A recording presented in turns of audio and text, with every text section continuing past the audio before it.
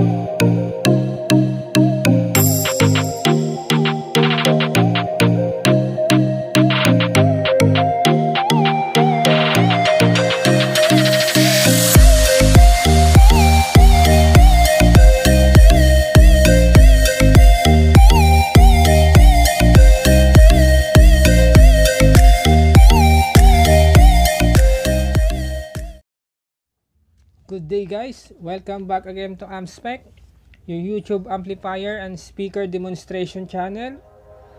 Kung bago ka pa lang sa channel ko, huwag kalimutang mag-like and subscribe. Pindutin na rin po ang notification bell button para lagi tayong updated pag may mga bago tayong uploaded na videos. Okay guys, simulan na natin. Ang tatalakayin po natin ngayon ay ang pinaka-affordable uh, pambahay setup pwede sa music karaoke amplifier with two speaker baffles. Ito po ang BFA 826 ang BFA 826 po ay may dalawang speaker. Isang speaker makita nyo po ang 8 inches na woofer tsaka isang 3 inches na tweeter. Ito po ay may lakas na 2600 watts PMPO o peak music power output. Ang amplifier po ng BFA 826 ay gumagamit ng makabagong teknolohiya. Gumagamit po ito ng mga SMD components kung saan ay mas maganda ang parts performance. Ang SMD components po ay mas mataas ang resistance, mas less noise, at mas durable when it comes to long-term usage compared to the traditional counterparts na ginagamit ng ibang brand. Sarap po ng amplifier. Ito po ang power button switch. Sunod naman po ay ang tone control. Ito po ang master volume. Sa baba naman po ay mga adjustment para sa bass, boses at kalansing.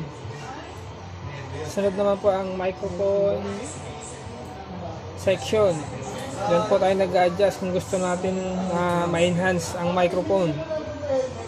Next po yung mga buttons. Mode. Pag mag-switch tayo from auxiliary, Bluetooth, FM at USB inputs.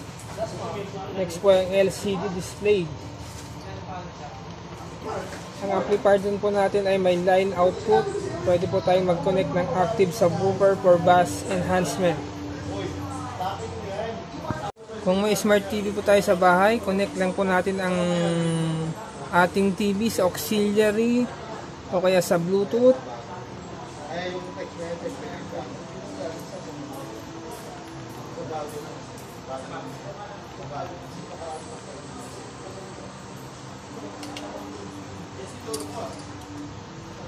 Yan.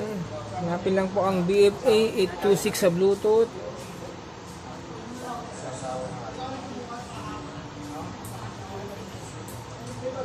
Connect natin. Pag once na connected na po, pwede na tayong pumunta ng YouTube. Then, mag-search ng mga karaoke songs.